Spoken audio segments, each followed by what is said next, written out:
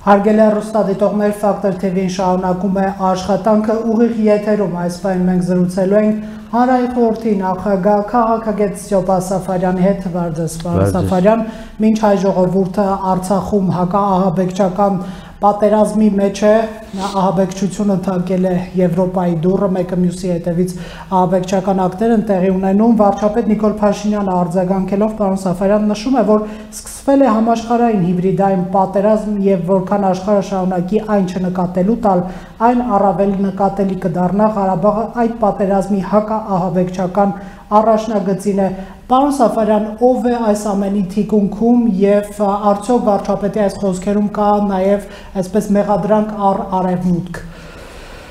Նախ երևի թե ես էլ միանամ վարչապետի խոսքերին, ցավակցություն եւ զորակցություն հայտնելով թե Ֆրանսիայի, թե Ավստրիայի ուրեմն հանրություններին այս սարսափելի ոչնագործության հետ կապված գիտեք մենք իհարկե շատ դեպքերում, այսպես ասած, ինքներս նորմալ չենք արդեն վերաբերվում այդ դատապարտում ենք, մտահոգված ենք եւ այլ եւ այլն, այնուամենայնիվ կատարվողը շատ սարսափելի է եւ դա հնարավոր է դարձել այն պատճառով, որ թե կորոնավիրուսով պայմանավորված, թե ընդհանուր աշխարհում միջազգային կառույցների թույլատման պայմանավորված Այսպես ամեն մեկը փակվեց իր մեջ, ուշադրություն չդարձնելով թե ինչ արհավիրք է հասունանում եւ բոլորս այսպես շատ սպորադիկ օջախներով դարձանք հարցակման թիրախ մենք Արցախում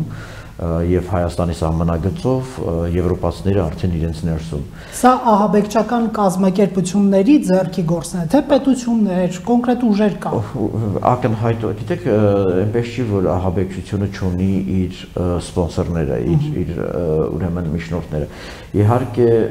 բոլորս այսպես զգայական մակարդակով ենթագիտակցորեն տեսնում ենք, թե որտեղից է գալիս այդ ամեն ինչը եւ դա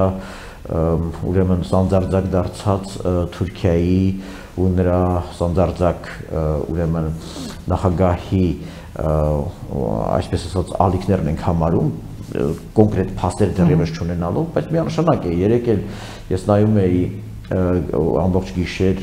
Վիեննայում կատարվողը եւ Վիեննայի նախկին ու ներկա պաշտոնյաների գնահատականները ըստ էության չի կարող ուղղակի այսպես լինել, հա Ֆրանսիայում սկսել ալիք, հետո տարածվել ուրեմն Վիեննայում եւ դա այնքան բան լինի, տեսանելիորեն կազմակերպված լինի, զանգվածային լինի, որը դժվար թե անեն, ասենք օրինակ Եվրոպայում հիմնադրված եւ ապրող մահմեդականները ու զգացմունքները, այսպես ասած, վիրավորվել են Ֆրանսիայի նախագահի խոսքից։ Մենք իրականում գործ ունենք այն երկրների թիրախավորման հետ, որոնց այս պատերազմում մեծ մեծ չհայտարարված, բայց մեր դեմ վարվող պատերազմում այս երկու երկրները գոնե մեր դաշնակիցներն են քաղաքական առումով։ Կապ տեսնում եք այս աբեկչությունների եւ մեր պատերազմի Ես տեսնում եմ, որովհետեւ թույլ տվեք հիշեցնել, որ Ֆրանսիան եւ Ավստրիան այն երեք երկրներից մեկն են, որոնք պատրաստվում էին եւ կողմ էին, որպեսի Թուրքիայի նկատմամբ պատժամիջոցներ սահմանվեն։ Սրանք այն երկրներն են, որոնցից Ֆրանսիան համենայն դեպս ՆԱՏՕ-ի շրջանակներում ստանձնել է արևելյան միջերկրածովյան ավազանում Թուրքիայի ակտիվացման դեմ ուրեմն պայքարը, հա, Հունաստանի եւ մյուսների հետ։ Լիբիայում ուրեմն Թուրքիայի խայտարակ, այսպես ասեմ, ուրեմն գործունեության դեմ պայքար, այսինքն Ֆրանսիան այդ առումով իհարկե թիրախ երկիր է Թուրքիայի համար Ավստրիան բնականաբար վերջին ամիսներին հատկապես շատ անհաջող է եղել Թուրքիայի համար իր հայտարարություններով։ Եվ վերջապես գալով կոնկրետ վարչապետի ասած առաջնագծի բանին, Ավստրիան Կանադայից հետո երկրորդ երկիրն էր, որի ընկերությունը արգելանք դրեց տեխնոլոգիաները բայրակթարին վաճառելով Սա լրջագույն խնդրեմ է ստեղծել։ Մենք պիտի շատ ու շատ իր հետևենք Թուրքիայի գործունեությանը, որովհետև եւ կանադական, եւ ամերիկյան, եւ ավստրիական ընկերությունների կողմից այս արտահանման, այդ տեխնոլոգիաների արտահանման արգելքը լուրջ խնդիրներ է առաջացրել Թուրքիայի ռազմարտունաբերական համալիրի եւ մասնավորապես Բայրակթարի համար։ Ինչ է ստացվում, պարոն Սաֆարյան, եթե հարագումարով հա նայենք? Առնվազն եթե մենք այս պահին փաստ չունենք, որ Թուրքիան է, այսպես ասած, դիրիժորություն անում այս ամենում Թուրքիան համենայն դեպս թիվ 1 շահառուն է նրա ինչը կատարվում է Ֆրանսիայում եւ Ավստրիայում եւ հետեւաբար գիտեք մենք նույնց վերադառնամ մենք կարող ենք իհարկե Եվրոպային շատ բաներում մեղադրել որ ինչու այս ամեն ինչը չի կարողանում կանխել Եվրոպան ինքն էլ բսկտված է ինքն էլ արդեն ամեն մեկը իր խնդիրների մեջ ինքնամեկուսացած եւ կորոնավիրուսով բարորած եւ քաղաքական խնդիրներով բայց քաղաքական առումով մենք չենք կարող թեր կարևորել այն աջակցությունը, որ մենք կարող ենք ունենալ օրինակ այդ երկրների կողմից պատերազմի ինտենսիվությունը նվազեցնելու առումով Արցախում, որպեսզի կարողանանք արդեն մենք լոկալ թատերաբեմերում մեր խնդիրը լուծել եւ նաեւ այո այս կտրվածքով շատ այսպես ասեմ ճիշտ էր Սեբաստիան Կուրցի պատասխանը Հայաստանի Հանրապետության վարչապետին, ով գրեթե հասկացրել է, որ մենք այս արհավիրքի դեմ միասնական քաղաքակրթական պայքար։ Ես կարծում եմ, այո, Հայաստանի եւ աշխարհի բոլոր երկրների հետ գոնե ահաբեկիչների դեմ պայքարում մենք ունենք խոշոր ընդհանրություններ, խոշոր շահագրգռություններ Ռուսաստանից սկսած Եվրոպայով Միացյալ Նահանգներով ավարտած։ Հայաստանի վարչապետը Իսրայելի իշխանություններին առաջարկում է մարդասիրական աջակցություն ցուցաբերել ոչ թե Լեռնային Ղարաբաղին, այլ Ղարաբաղի դեմ կռվող ահաբեկիչներին, որոնք Ադրբեջանի կազմում են կռվում։ Իսրայելը պետք է իրեն հարց տա, արդյոք նա վարձկանների հետ միասին չի պայքարում Լեռնային Ղարաբաղի դեմ, այսպիսի հարց է հնչեցնում վարչապետ Նիկոլ Փաշինյանը, դուք ինչպես եք գնահատում այս հայտարարությունը ուղղված Իսրայելին։ Ճիշտ եմ գնահատում։ Հեղափոխությունից հետո թվում էր, թե Իսրայելը երբ շնորհավորեց Հայաստանի Հանրապետության վարչապետին իր ընտրության կապակցությամբ, թվում էր, թե Իսրայելը գիտակցել է 2016 թվականի ապրիլյան պատերազմում սեփական սխալները, Մանավանդ դրանից հետո մի քանի քայլեր կատարել, մասնավորապես Իսրայելում հետաքննություն էին սկսել այն ուրեմն գործարանի այն այն ռազմարտունաբերական այն ձեռնարկության նկատմամբ, որը բարձվել էր ոչ միայն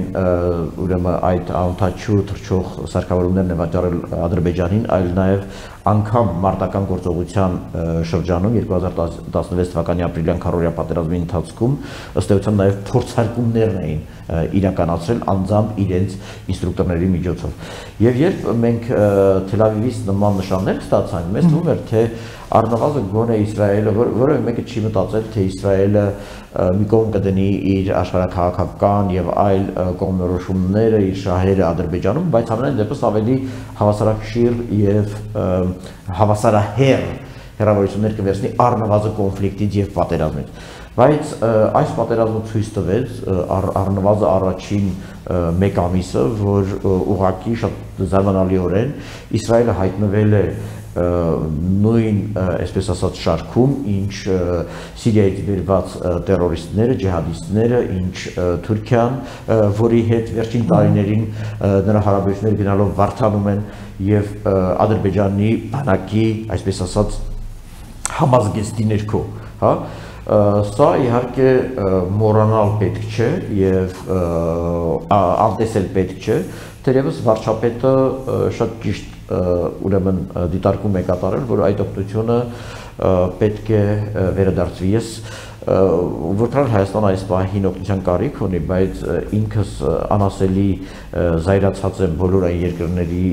հանդեպ, ովքեր մի կողմից ըստ էության լեգիտիմացրել են այս կամ այն հայտարարությամբ Ադրբեջանի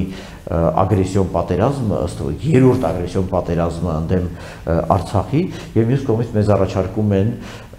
օգնություն, այդպեսին կլինի միացյալ թակավորությունը, որի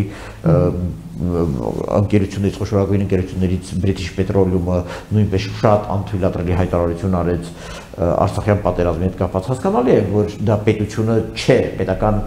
դիրքորոշում չէ, բայց միևնույն է։ Որի խողովակաշարերը խնայվեցին հայկական բանակի կողմից։ այո, իհարկե ի վերջո մենք ապրիլյան էսկալացիայից հետո բարձրագույն մակարդակով, պաշտպանության նախարարության մակարդակով հայտարարել էինք, որ իրականում հայկական բանակը այդ խողովակաշարերի անվտանգության երաշխավորն է եւ դրանք չեն դառնա հայկական զինված ուժերի կողմից թիրախ բայց դրա պատասխանը մենք ստացանք այլ կերպ, երբ նույն British Petroleum-ը հայտարարում է, որ ըստ էության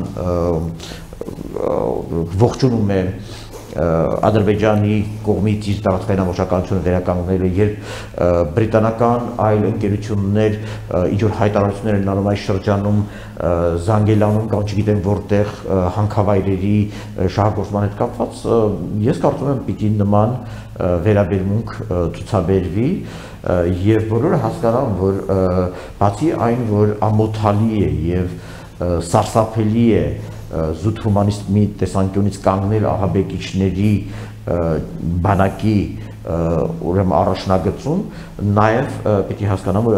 համապատասխան վերաբերմունք Հայաստանի Հանրապետության կողմից պաշտոնապես լինելու է Ռուսաստանի եւ Հայաստանի միջև սկսվել են խորհրդակցություններ ռազմական աջակցության շուրջ այս մասին տեղեկացնում է ազգային ժողովի արտաքին հարաբերությունների հանձնաժողովի նախագահ իսկ ազգային ժողովի փոխնախագահ Ալեն Սիմոնյանը ասաց որ հայկական կողմը լիովին բավարարված է ռուսական արձագանքից ըստ ձեզ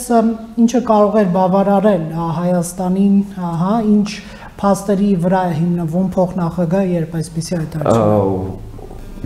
հոկտեմբերի երևի թե 25-ից 26-ից 27-ից հետո, մասնավորապես երրորդ հրադադարի փորձից հետո, երբ պատերազմի ինտենսիվությունը հենց բուն թատերաբերում, Արցախյան թատերաբերում ինչ որ չափով ստաբիլացավ եւ կարծեք թե քարտեզների մեջ պատկերի փոփոխություններ չեն ոցանագրվում այդ ընթացքում ուժեղացավ արդեն այսպես կոչված պայմանականորեն կոնֆլիկտի գոտուց դուրս ուրեմն բնակավայրերի թիրախավորման ուրեմն գործողությունները բնականաբար իհարկե առաջինը դա անում էր Ադրբեջանը եւ պատասխան գործողությունների տեղիք տալով նաև ադրբեջանական այլ բնակավայրերի պարագայում կլինի գանձակ, կլինի պարտավ, ինչպես իրենք են անվանում բարդա կամ թարթար, ինչպես իրենք են ասում թերթեր եւ այս կատարվածքով թերևս նկատելի էր որ կարող է թատերաբեմը ընդլայնվել, որովհետև հենց այդ շրջանում արդեն նաև նրանց կողմից խոցումներ եղավ Վարդենիսի շրջանում, Հայաստանի հարավային սահմանի սահմանի հետ կապված եւ սրա հետ միասին նաեւ տեսանելի էր որ հակառակորդը դիվերսիոն խմբեր նետելով Շուշիի եւ Լաչինի ուղություններով փորձում է ըստ էության գործողությունների հող նախապատրաստել այդ ուղություններով գրոհելու իսկ այդ ուղությունները Հայաստանի համար կարմիր գծեր են, հա, մենք մեր համար դա գոյամարտ է պահպանել առնվազն ամեն գնով Հայաստան Արցախ հաղորդակցությունը։ Եվ սա նաև կարմիր գիծ է իդեպ Մինսկի խմբի համանախագահ երկրների համար տարբեր չափերով, եւ եթե Հայաստանի համար դա գոյամարտ է, ապա դա նշանակում է Հայաստանը ակնհայտորեն կանգնած է այդ գիծը անցնելու մոտիկ, եթե նման փորձ ադրբեջանական բանակի կողմից լինի, սա նշանակում է, որ Հայաստանը մտնում է պատերազմի մեջ։ Իսկ եթե Հայաստանը մտնում է պատերազմի մեջ, նա ունի ռազմական դաշնակից, ռազմավարական եւ ռազմական դաշնակից Ռուսաստանը, որի հետ իդեպ ուզում եմ տեղեկացնել, որքան էլ ապատերկացությունը երկու հարթություն կա ռազմական համագործակցության, մեկը հապկի շրջանակներում եւ մյուսը երկկողմ մակարդակով։ Եվ ահա երկկողմ մակարդակով խորհրդակցություններ են ստվել, որովհետեւ Հայաստանը նախ պետք է զեկուցի իրավիճակը, տեղեկացնի իրավիճակը եւ կարմիր գծերի մասին եւ իր պատրաստելի գործողությունների մասին եւ նաեւ հասկանա թե այդ դեպքում գիտեք մենք չենք կարող ուղղակի առանց տեղեկացնելու, եթե մենք ռազմավարական դաշինքի մեջ ենք առանց տեղեկացնելու մտնենք մի բանի մեջ, որը ազդելու է կամ բերելու է մյուսի պարտավորությունների կատարմանը։ Եվ այս կտրվածքով թերևս եւ նաեւ մյուս խնդիր է կա պրովոկացիա, որ անում է ադրբեջանական կողմը ըստ էության ռմբակոծելով Հայաստանի հարավ, այդ Դավիթ Բեկ գյուղը ուրեմն անջապես Հայաստան-Իրան սահմանագիծը, որը նաև հայ-ռուսական սահման է փաստացի եւ բնականաբար պիտի տեղակ պահվի ու հասկանալ լինի, եթե մենք մտնում ենք այդ գործողության մեջ, ապա նախ առաջինը մեր ռազմավարական դաշնակիցը տեղյակ լինի, դրա հերանեկարի մասին եւ անակնկալ չլինի եւ երկրորդը բարձրի աջակցության չափը։ Եվ այս կտրվածքով ես կարծում եմ Հայաստանը ճիշտ գործընթաց նախաձեռնեց նման ռիսկեր զգալով եւ արդյունքում իհարկե մենք շատ բան չենք կարող իմանալ ես տեղյակ չեմ թե պաշտոնական Երևանը եւ պաշտոնական Մոսկվան ինչ են արել բայց ենթադրել կարելի է որ արդեն բոլոր հարցերով ուրեմն ստացված են պատասխաններ ես այդպես եմ հասկանում արտաքին հարաբերությունների հանձնաժողովի նախագահի հայտարարությունից եւ փոխնախագահի ազգային ժողովի փոխնախագահի հայտարարություններից եւ բնականաբար նաև չեն կարող չնկատել, որ երեք հերախոսազրույց է տեղի ունեցել Ռուսաստանի Դաշնության նախագահի ու Ադրբեջանի նախագահի եւ Հայաստանի վարչապետի միջև Ղարաբաղյան խնդրով։ Եկեք մինչ այդ հերախոսազրույցին ասեմ։ Իսկ դրան նախորդել էր Չավուշօղլուի այցը Բաքու, եւ Անկարա Բաքու խորհրդակցությունները։ Հիշեք ձեր միտքը մինչ այդ պարոն Սաֆարյան ասացեք, խնդրեմ, կարող է ռուսական ռազմական աջակցությունը իսկապես լինել, որովհետեւ Ռուսաստանի արտգործնախարարության այդ հայտարարության մեջ եթե բառը կար, հա, եթե ռազմական գործողությունները Հայաստանի տարածքը տեղափոխվեն եւ արդյոք դա կարող է լինել այնքան նշանակալի, որ իսկապես անհանգստացնեն Էրդողանին եւ Ալիևին։ Դա միանգամայն հասկանալի էր, սա նշանակում է, եթե Ռուսաստանը նման ակնարկանում է, նշանակում է ճանաչում է, որ նման վտանգ կա։ Իսկ հարավային հատվածում, տեսեք, մի պահ աստված ոչանի, եթե մենք թողնենք իրավիճակը այսպես չկարողանանք շրջել, հա, մենք մենք մենք տեսնում ենք հարավի ուղղությամբ դեռևս 2016 թվականի ապրիլյան պատերազմից հետո ես եւ նաեւ այլոք Հայաստանում ապրիլյան պատերազմում ադրբեջանական կողմից հարավում Արցախի հարավ-արևելքում այդ Լելեթեփեի ու այդ հատվածում դիրքային առավելությունները մենք այն ժամանակ կապում էինք ապագա պատերազմում հարցակման կարևորագույն ուղղության հետ եւ դա տեղի ունեցավ ցավոք սրտի այսինքն հարավային այդ հատվածը ակնհայտորեն դարձել է Թուրքիայի եւ Ադրբեջանի համար ամենա ոչ միայն աշխարհագրորեն հեշտ իրականացնելի, հա, որտեղ հարթավայր է եւ այնտեղ նման անհավասար սպառազինվածության պայմաններում որը չհամատի ուրեմն Արցախի բանակի ունեցած հնարավորության հետ, ել չասած Հայաստանի բանակի հնարավորությունների հետ։ Եվ նաև այն դեպքում, երբ որ ուղղակի շատ անհավասար մարդ է գնում, այդ այդ տարածքում իհարկե չես կարող հարթավայրային տարածքում չես կարող մեծ կորուստներ շարունակելով տալ, փորձել պահպանել այդ այդ ամեն ինչը, բայց այն առաջին փորձը արվեց, դիրքավորվեցին այնտեղ Եվ եթե կհիշեք, այդ շրջանում 2016 թվականի ապրիլյան պատերազմում ադրբեջանական կողմից հայտարարություններ են հնչում, որ իրենք այնպեսի դիրքեր են զբաղեցրել, որոնք թույլ են տալիս նաև վերահսկել Հայաստանի ու Արցախի կոմունիկացիան Գորիսից սկսած։ Սա ցույց է տալիս, որ հերահար նպատակ է։ Վերջո վերջին տասնամյակում Արցախի եւ տասնամյակներում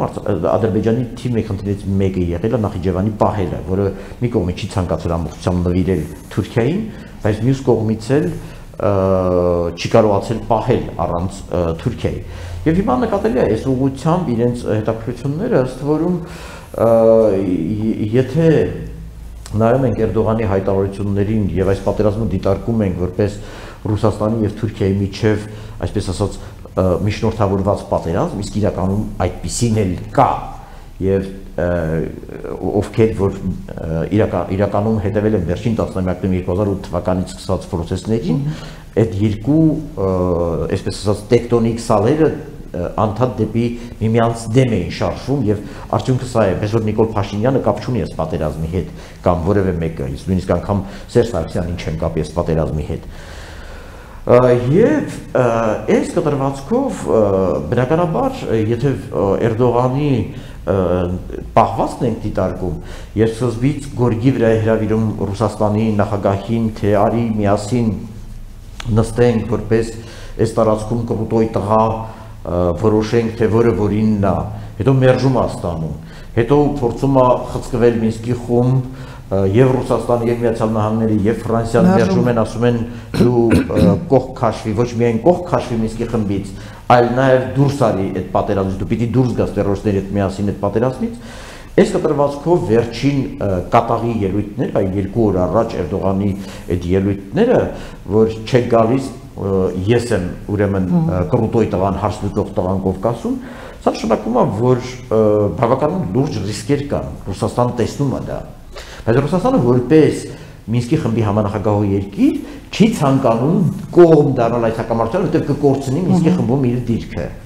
Դե Ալիևը քանի անգամ զգուշացրել է։ Ալիևը Այդ հայտարարությունից մեկ հատված բերեմ Ալիևի, որ ասում է Ադրբեջանին Ադրբեջան չի սպառնում Հայաստանին եւ Ռուսաստան միջամտության կարիք չունի, նա պետք է որպես համանախագահ չեզոք լինի։ Արդյոք հիմք չի ստանում Ադրբեջանը նաեւ հիշելով հա Պուտին, Ալիև, Փաշինյան այդ հերախոսազրույցի մեր կասեցված, հա, թեման որպեսզի ասի, որ Ռուսաստանը փաստորեն այլևս կոնֆլիկտի կողմ է եւ այդ ձևաչափը Մինսկի խմբի չկա այլևս։ Այո, իրականում իրականում Թուրքիա եւ Ադրբեջանը փորձում են Ռուսաստանին դրթել այնպիսի քայլերի, որպեսզի հիմք ունենան Մինսկի խումբը տրոհելու, ապացուցելու, որ Ռուսաստանը հակամարտության կողմ է, կանգնած է Հայաստանի կողքին եւ հետեւաբար ինքը իրավունք չունի լինելու Մինսկի խմբում, իսկ եթե թույլ են տալիս որ լինի, ապա հետեւաբար պետք է ավելացնել 4-րդ աթոռը Ռուսաստանի կողքը եւ այս սկզբունքով ինչպես Ռուսաստանն է հանդես գալիս որպես Հայաստանին աջակցող կողմ, այդ նույն սկզբունքով պիտի Անկարան ունենա աթորիտեր Ադրբեջանի համար։ Հիմա գիտեք, այս վերջին մեկ ամսվա ընթացքում կամ քաղաքագիտական տգիտությունը կամ չգիտեմ ինչ վերել են նրան, որ ցույց են որ որ անգամ Հայաստանում այդ կեղծիկը փորձեցին տարածել թե Ռուսաստանը չի գալիս մեզ պաշտպանելու, չի չի գալիս մեզ օգնելու, որովհետև Նիկոլ Փաշինյանին չի սիրում, չհասկանալով, որ իրականում խաղը շատ բարդ է Հիմա դա մեզ դուր է գալիս, թե դուր չի գալի, իհարկե ես կուզենամ ամբողջ աշխարհը կկանգնի Արցախը պաշտպանի։ Բայց այդ ես չեմ կարող այդ երկիրը ինքը այո մի կողմից հանդես է գալի որպես Հայաստան ռազմավարական դաշտ, մյուս կողմից իր համար շատ թանկ է Մինսկի խմբի համանախագահի իր պաշտոնը ՄԱԿ-ի անդամության խորհրդում իր պաշտոնը։ Ես չեմ կարող նրանց պարտադրել կամ Հայաստանը երբևէ չի կարող նրան պարտադրել որ ինքը կորցնի այդ ամեն ինչը եւ վերջում իսկի խումբը գործում է ՄԱԿ-ի ուրեմն այսպես ասած լիազորագրով, հա, նույն 93-94 թվականի բանաձևերը հողում են անում եւ ընդհանրապես վերջին բանաձևերը վեր, վերջին հայտարարությունները երբ երկու անգամ քննարկվեց, ասում գնացեք Մինսկի խմբում վերականգնեք process-ը։ Հիմա այսպիսի կարևոր հանգամանքներ չհասկանալ ռուսական քաղաքականության համար եւ դա տանել, չգիտեմ, ներքաղաքական շահարկումների ու իշխանության հարվածելուն դաշտ, է ոչինչ չհասկանալ կամ լինել անազնիվ։ Հետևաբար այս կտրվածքով Ռուսաստան Հայաստանի վարչապետի արձագանքը շատ կարևոր էր, որ մենք հասկանում ենք, ըմբռնում ենք մոտենում այդ հայտարարությանը, որովհետև Ռուսաստանը համանախագահող երկիր է։ Պատահական չէ, որ այդ հայտարարության նամակի պատասխանը չի եկել անմիջապես նախագահի մակարդակով, այլ եկել է ԱԳՆ-ի մակարդակով հաստատելով պաշտոնական պաշտոնապես իր պարտավորությունների տեր լինելը եւ նաեւ փակվել է Ադրբեջանի կողմից, այսպես ասած, հերահար նպատակը, որ եթե ես Հայաստանի նկատմամբ գործողություն չեմ անում, դու ինչ գործ ունես, օգնես այնտեղ Արցախում կամ Հայաստանում ուրեմն հայկական կողմին։ Իդեպ դուք կարիք տեսնում եք, որպեսզի վարչապետի այդ նամակը Պուտինի բովանդակությունը բացվի հանության համար Կա այդպեսի կարիք։ Ես չեմ կարծում որ դա ես չգիտեմ ինչ է շարադրված եւ չեմ կարծում որ եթե կան այնտեղ բաներ, որոնք պետք չի հայտնել, ապա այս պատերազմի շրջանում դրանք պետք է հրապարակայնացնել։ Հիմա պարոն Սաֆարյան, Իհարկե որպես փորձագետ շատ հետաքրքիր կլինի, բայց որքանով դա ճիշտ կլինի, եթե դա ճիշտ լիներ, զուտ այս պահի առումով, ես կարծում եմ կառավարությունը կհրապարակի։ Ինչու պետք է Ռուսաստանը այս պահին իսկապես աջակցի Հայաստանին, որը կարող է շարժել Ադրբեջանի խանդ, արդեն շարժում է եւ միգուցե եւ Ռուսաստանի տեսանկյունից եթե նայենք, այդպիսով արդյոք չի կորցնի Ադրբեջանի նկատմամբ ունեցած ազդեցությունը կամ այն գործընկերության վերջին հատիկները միգուցե։ Ադրբեջանին իրականում Ռուսաստանը կորցրել է 2016 թվականին։ 2016 թվականի ապրիլյան պատերազմից հետո շատ տեսանելի էր Ալիևի անուղակի մեղադրանքները Ռուսաստանին, որ դու կանգնացրեցիր պատերազմը, դրա համար ես չկարողացա գնալ եւ վերցնել ավելին։ Որից հետո մի քանի իրադարձություններ եղան, Ես կարծում եմ Ադրբեջանը ուղղակի իր համար արդարացման հիմք ստեղծեց Տավուշյան էսկալացիայից հետո, փորձարկելով Անկարայի հետ միասին փորձարկելով ռուսական ռեակցիան, թե ինչպես նա կպահի իրեն, եթե լայնամասշտաբ պատերազմի դիմի, եւ սկսեցին մեղադրել Ռուսաստանին անուղակի, որ քանի որ դու չես պատժում Նիկոլ Փաշինյանին եւ Հայաստանին տավուշում կատարածի համար, հետեւաբար իսկ Նիկոլ Փաշինյանը եւ Հայաստանը եկել են եւ դիրքավորվել են, որ մեր խողովակներին խփեն, հետեւաբար այս կատարվածքով դու կանգնած ես այս ամեն ինչի հետևում։ Սա է եղել ապրիլյան ներողություն Տաուշյան էսկալացիայից հետո Ադրբեջանի ասածը Ռուսաստանին, որ եթե թիրախավորվել են մեր խողովակները, մեր տրուբաները, ապա եւ եւ դու չես պատժում Նիկոլ Փաշինյանին դա չանելու համար եւ թույլ ես տվել այդ դիրքերը զբաղեցնել, եթե չասեմ օգնել ես չգիտեմ ինչ, ապա դա նշանակում է դու այդ այդ ամբողջի մտադրությունը քոնն է, որպեսի դու շարքից հանես տապը եւ տանապը Բաքու Թբիլիսի Ջեյհանը եւ այլ եւ այլ։ Եվ իհարկե բայց նույնիսկ եմ կրկնում հրաապարական մեղադրանքը Տաուշան էսկալացիայից հետո հնչել է այս տարի, բայց իրականում Թուրքիայի իր ստրատեգիայում նախկինում Ալիևը իդեպ ես ես ասեմ, այս պատերազմի շրջանում երկու հետաքրքիր բան գաղտնիք բացահայտվեց Սերժ Սարգսյանը Independent-ին տված իր հարցազրույցում բացատրեց, թե ինչու է մտել բանակցային գործընթացի մեջ եւ որն է եղել իր ակնկալիքը, որ քանի որ մենք չէինք կարող ուղղակիորեն ճնշել Ադրբեջանին ընդունելու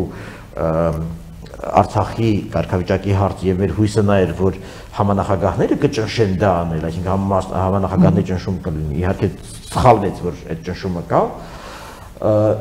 Ադրբեջանի նախագահն էլ իր հերթին բացահայտում արեց, որ իր հույսը այն է եղել, որ Ռուսաստանը Հայաստանին կճնշի եւ կհամաձայնեն ռուսական պլանի տարբերակի, իսկ ավելի ստույգ 7 տարածքներից ու Ղարաբաղից զորքերի դուրսբերմանը։ Հիմա այս կտրվածքով սա ցույց է տալիս մի բան, որ 2016 թվականից հետո Ալիևը իր ստրատեգիայում Ռուսաստանին փոխարինել է Թուրքիայով, այսինքն ասել է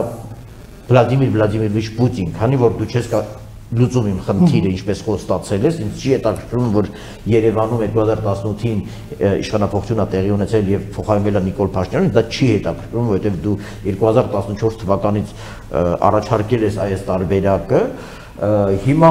ու դու չես ճնշում ու տավուշում դու ցույց ես տալիս որ չես ճնշում Երևանին ավելին դու կիսում ես Երևանի այդ մտահոգությունները որ ամբողջ Թովուզի այդ հարթավայրը Քուրիա հարթավայրը եւ խողովակաշարերը պիտի լինեն թիրախի տակ եւ մեզ վախացնես, հետեւաբար ես գնում եմ Էրդողանի հետ խնդիրս լուծելու։ Եւ ահա այստեղ է գալիս ամենահետաքրքիր պահը եւ դու հարց դուք հարց եք տալիս ասում եք Ադրբեջանը չի կորցրել Ռուսաստանի կողմից ասում եմ Ռուսաստանը գիտի որ ինքը 2016-ին է կորցրել Ադրբեջանին բայց այսօր որ նախ Մինսկի խմբում իր տեղը պահելու համար չի ուզում հավասարակշռությունը խախտի կոնֆլիկտի կողմերի միջև դրա համար Բալդայի ակումբում, դիսկուսիոն ակումբում դերևս Վլադիմիր Պուտինը ասում է уважаемый братский народ Ադրբեջանը եւ մյուս կողմից, մյուս կողմից նաեւ ակնհայտորեն տեսնում է, որ Ադրբեջանը բաց հայտ խաղում է Թուրքիայի հետ այդ խաղը ընդդեմ իրեն է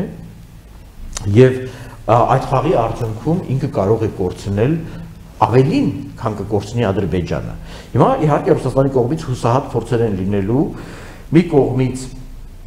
պահպանել Միսկի խմբում տեղը, որը կարևոր է իրենց համար, մյուս կողմից պատժել Ադրբեջանին, որը ըստ էության դավաճանել է իրեն եւ գտել է նոր սիրեկան, պայմանականորեն ասած, Էրդողանին, եւ հետեւաբար այստեղ որ հայկական կողմը պիտի հասկանա խաղի բոլոր նրբությունները եւ հասկանա որ Ադրբեջանին պատժելու դաշտ կա եւ Ադրբեջանի պատժելու առումով ինքը կարող է ունենալ դաշնակիցներ։ Հիմա խնդրեմ ասացեք պարոն Սաֆարյան, Ղարաբաղում այսօր ծավալվող պատերազմի Ռուսաստանի իրական հայացքը որն է, այսինքն եթե շատ པարս հնչեցնեմ հարցը, նրանք ասում են, որ ռազմական լուծում չեն ընդունելու, քաղաքական լուծում պետք է լինի դիվանագիտական Ռուսաստանը կփորձի անել մի բան, որպեսզի հայկական կողմը առնվազն այնտեղ պարտություն չկրի Ղարաբաղում։ Ես չեմ կարող ասել, դեռ իրավիճակը շատ անկայուն է, ես նախորդ հարցը շարունակելով ես պատահական չասի Հայաստանը կարող է ունենալ դաշնակիցներ պատժելու Ադրբեջանին եւ դա կարող է լինել օրինակ Ռուսաստանը։ Իմ հարցը հենց դրա ուղակի, անուղակի, չգիտեմ ինչ աջակցության միջոցով, որովհետեւ եթե Ռուսաստանը այսօր չպատժի Ադրբեջանին, ստացվելու է, որ այնինչ ունի Ադրբեջանը ունի Էրդողանի շնորհիվ, այսինքն ինքը չի կարողացել, եթե ինքը նո այսպես պայմանականորեն բացատրենք, բաժանենք, հա, եթե 2008-ից մինչև 2000 2008 թվականից, որ որ երբ սկսվեց այս խաղը, մեծ խաղը, 2008 թվականից մինչև 2016 Ադրբեջանը սպասում էր, որ իր խնդիրը լուծելու է Ռուսաստանը, ապա ինքը համարում է, որ այդ խնդիրը լուծվել ընդամենը Թալիշի վերևում մի 1-2 դիրքեր վերցնելով եւ հարավ արևելքում Լելետեպեն։ Այսինքն ինքը գտնում է, որ Ռուսաստանը օգնել է Իրան ընդամենը լուծել է խնդիրը ավելին նա գտնում է որ ոչ թե օգնել այլ խանգարել է ինչպես ես ասացի հայտարարությունները բայց պետք է նկատել որ Պուտինը օրերս սխեմա առաջարկեց հարցի լուծման այնպես որ այնտեղ տարածքների հանձնման մասն է խոսք գնում հիմա ես դրա կվերադառնամ Հիմա ես դա կվերադառնամ, որի որ կարծես թե ձեռնտու է Ադրբեջանը։ Եվ եւ 2008-ից մինչև 16-ը Ադրբեջանը համարում է, որ ինքը ստացել է Ռուսաստանի օգնությամբ, քանի որ բանակցությունները վարվում էին Մայենդորֆից սկսած 2008 թվականի նոյեմբերից սկսած բանակցությունները վարվում էին Ռուսաստանի հովանու ներքո, ինքը որ ընդհանրեն կարողացել է մի քանի դիրք վերցնել։ Հիմա ինքը տեսնում է, որ ինքը առանց Ռուսաստանի եւ Թուրքիայի հետ միասին ստացել է ենթադրենք 4 4.5 կամ 5 շրջան, հա? Ստացվում է, որ Ռուսաստանը կորցնում է արդեն Ադրբեջանին, եթե չպատժի։ Դե կստացվի, որ իսկապես Ալիևի որթեգրած ռազմավարությունը ռուսներին փոխարինել Թուրքիայով արդարացված է։ Ավելին ես ես ասեմ, Հայաստանը այստեղ շատ հետաքրքիր պահ կա, Հայաստանը եւ Արցախը։ Երկու շատ կարևոր բանի վրա պետք է ուշադրություն դարձնել եւ եւ շեշտը դնեն։ Եթե թույլ տրվեց պատերազմի եղանակով խնդիրը լուծել, այդ նշանակում է Մինսկի խումբը անելիք չունի։ Այդ նշանակում է Ռուսաստանը, Ամերիկան եւ Ֆրանսիան Կովկասում այլևս անելիք չունեն, որովհետեւ թույլ են տվել, որ հիմա այս առումով, ասացեք ինձ խնդրեմ, նշмарվում է Ադրբեջանին պատժելու թույլ, բայց տեսանելի շահագրգռություն բոլորի մոտ։ Իմ իմ մոտ դա տեսանելի է, որովհետեւ եթե դա թույլ տան անել հիմա, կստացվի, որ իսկապես այդ այդ միջնորդական ֆորմատները անիմաստ են եւ տապալման եզրին են։ Հիմա վերադառնամ ելի այդ խնդրին։ Եվ որ ես ասացի հուսահատ փորձեր կլինեն Ռուսաստանի կողմից Ադրբեջանի ուղղված։ Ես օրինակ Վլադիմիր Պուտինի այդ խոսքերը հետեւյալ կերպ եմ հասկանում։ Ես քեզ առաջարկում էի 7 շրջան, դու չհամաձայնեցիր։ Հիմա գնացել ես Էրդողանի մոտ, ստացել ես անկայուն եւ անշրջելի ներողություն շրջելի ինչ որ արդյունք հարավում, որը կարող է չլինել, հա, որտեղ պատերազմը կանգնացնող չկա ակնհայտորեն։ Պատերազմի ինտենսիվությունը նվազեցրել են, բայց պատերազմը կանգնացնող չկա։ Հետևաբար այս առումով ես կարծում եմ դա, այսպես ասած, նախ էլի այդ որպես միջնորդի դիրքերից, որ ես ինչ անեմ, ես առաջարկում էի 7-ը, բայց դու չուզեցիր։ Դու ուզեցիր ամբողջը, մի կողմից Ադրբեջանին ուղղված արդարացում Իդեպ մի բանի վրա ուշադրություն դարձրեք։ Վլադիմիր Պուտինը լեգիտիմացրել է հայերի ինքնապաշտպանության իրավունքը։ Ոչ միայն 80 թվականին, նաև հիմա։ Ու այս կտրվածքով Ռուսաստանը շատ հետաքրքիր տեքստ է բաց թողել։ Մեզ դա իհարկե դուր չի գալու, որովհետև մենք ուրիշ բան ենք սպասում, որովհետև մյուս կողմից մենք գիտենք, որ Ռուսաստանը մեր ռազմավարական դաշնակիցն է։ Բայց ինքը ասում է, ես որպես համանախագահ, ես պատահական չի թողի ներվի ասել, սա մեծ ռազմորկա է, որը սկսվել է 2008 թվականից սկսած խորհրդի հետ կապված։ Սա մեծ ռազմորկա է, թե ով ինչ չկարողացավ անել եւ ինչու չկարողացավ անել ու բոլորը արդարանում են նաեւ։ Եվ բոլորը նաեւ բան են հասկանում։ Ես քեզ առաջարկեցի 7-ը Դու չուզեցիր։ Կազանումով է մերժել։ Կազանում մերժել է Ադրբեջանը։ Նա ասում է դու 7-ը չուզեցիր։ Դուք խոսեցիք պատժելու մասին Ադրբեջան, դա ինչ ձև է չոք։ Դա իհարկե արվելու է հայերի ձեռքով։ Եթե նույնիսկ որևէ երկիր որոշի միանալ Հայաստանի այս պատերազմին, հայկական կողմի այս պատերազմին, դա արվելու է անուղակի մեր ձեռքով, ինչպես միշտ է արվել։ Հիմա սա է այս աշխարհը, վատա որ դա է այդ աշխարհը վատա որ մենք 21-րդ դարում դեռևս պիտի մնանք այսպես ասած դեռևս ուրիշի միջոցով կլինի դա մեկը x-ը y-ը z-ը արմեր չտա բոլորի համար մենք խնդիր լուծող ազգ ենք գործոն ենք Ղարաբաղը գործոն է Եվ այո, Ամերիկային էլ է ձեռնտու, որ մենք ինչ որ չափով Թուրքիային իր տեղը նստացնենք, եւ մեր ձեռքերով դա արվի Ֆրանսիային էլ, Եվրոպային էլ, Ռուսաստանին էլ, այս կտրվածքով կռիվը իհարկե ցավոք սրտի միայն մերն է։ Բայց ընդհանուր շահագրգռությունների դաշտ ենք վերադառնում։ Տեսեք, բառացիորեն իմ մեր մեր եթերից 1 ժամ առաջ Իրանի հոգևոր առաջնորդը Twitter-ում շատ այսպես երկիմաստ գրառում արեց։ Դրանց որ Ադրբեջանը կարող է վերականգնել իր իր իր տարածքային հողերը, ազգագրել հողերը, հայերի պաշտպանվածությունը պիտի ապահովված լինի, բայց այդ այդ իր իր այսպես ասած ավանդական դիրքորոշումն է։ Բայց ինչ էր ասել այսօրվա հետ կապված։ Ինքը ասել էր եթե terroristները մոտեցան իմ սահմաններին, ուղղակի ոչնչացնելու են։ Եվ իսկ ում ում կազմում են կռվում terroristները։ Իհարկե ոչ հայկական բանակի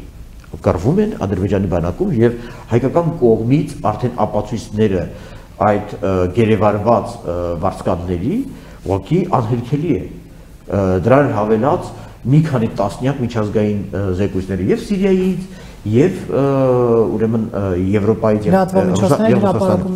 բայց նույնիսկ եմ կրկնում հիմա այս խնդիրն է Ռուսաստանը ինքը նույնպես արդեն հենց պատերազմի սկզբից սկսած տեսավ, որ այդ վտանգը կարող է մոտենալ իր սահմաններին, Կովկաս, հյուսային։ Եվ ռուս փորձագետները չեն թաքցնում, որ եթե մենք հապաղենք միջամտել, ապա մենք ստիպված կլինենք դրանց դեմ կռվել արդեն Կովկասում։ Նույնպիսի անհանգստություն ունի արևմուտքը, որը հասկանում է, որ եթե Թուրքիան որպես դրակոն հրեշ նստել է Եվրոպա, Ասիա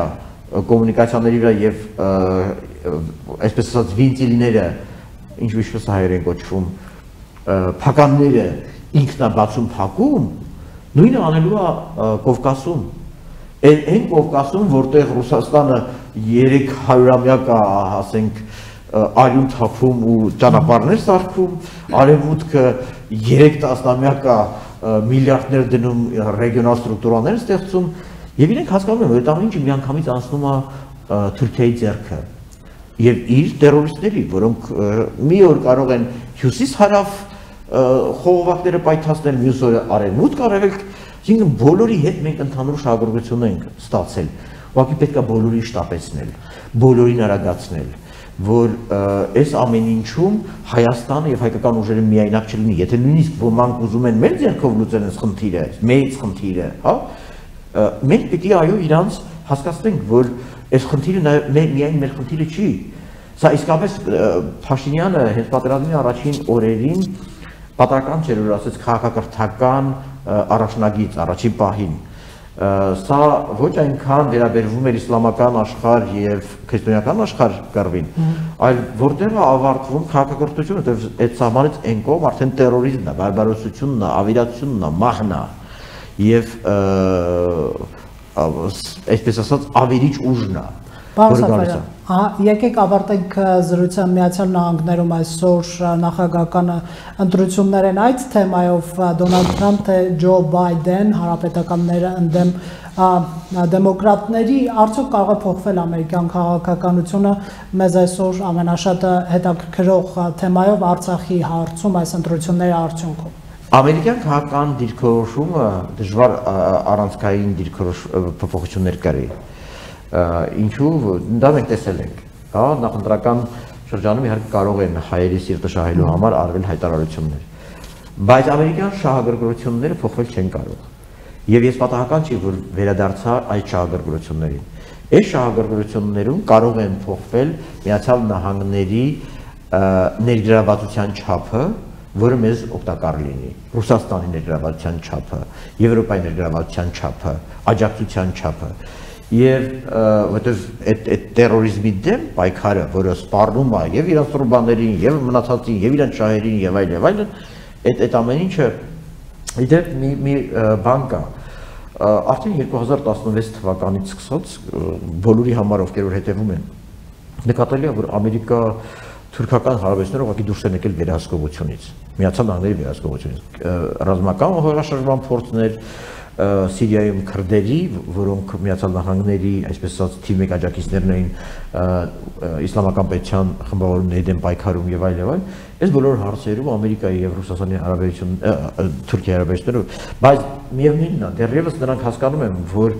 եթե Թուրքիային հեռացնեն ՆԱՏՕ-ից, ինչի կոչեր կան, դա կարող է ոչ այնքան լավ լինել, որքան այս վիճակ, այսինքն ել ավելի վատ վիճակ լինի Թուրքիայի ձեռքերը ազատեն ընդհանրապես մեկը միշտ։ Հիմա նրանք էլ այս խնդրի առաջ են կանգնած։ Այնպես չի որ նրանք խաղում են Թուրքիայով։ Թուրքիան ինքն արդեն խաղում բոլորի դեմ եւ վտանգում բոլորի շահերը ըստ որում այդ բոլորը կլինեն իր դաշնակիցները, թե իր տակտիկական գործընկերները իդեմս Ռուսաստանի, Սիրիայում, հա,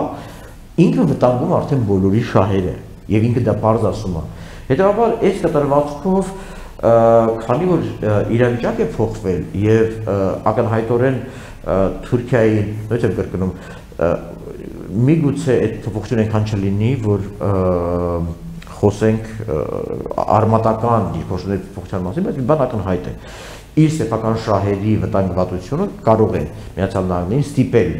կանգնել հայկական ուրեմն ուժերի կողքին կամ նույնը Ռուսաստանի, նույնը Եվրոպայի։ Եվ այս առումով լուծվի խնդիր, հա, որը հավասարապես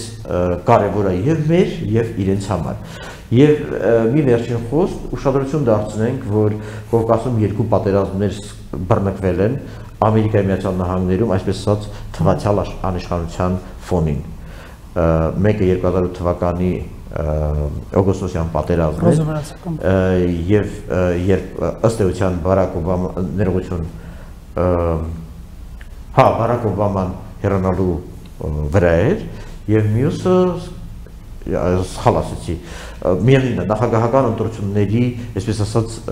վերջին փուլն է եւ մյուսը հիմա երբ ըստ էության ամերիկյան ընտրություններն են օրակարգում եւ դեռևս པարզ չէ թե ով հաղթանակ կտանի իր բարդ այսպես ասած դրական համակարգի շնորհիվ եւ սա ես կարծում եմ եղել է այս պատերազմը պլանավորողների հաշվարկների մեջ որպեսի Ամերիկայի նախագահ նախագահությունը եւ ամերիկյան establishment-ը ավելի շատ գլուխը խառը լինի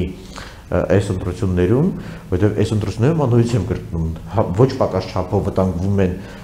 թե ռուսական, թե արևմտյան, թե եվրոպական շահագրգռություններ եւ հետեւաբար այս կտրվածքով լավ շատ ճշգրիտ հաշվարկ արվել Էրդողանի կողմից երբ սկսել որպեսի հնարավոր հակազդումները քիչ լինեն Պարոն Սաֆարյան, շնորհակալություն։ Ես եմ շնորհակալ։ Factor TV հարցերին պատասխանում էր Հանրային խորհրդի նախագահ քաղաքագետ Ստյոպա Սաֆարյանը։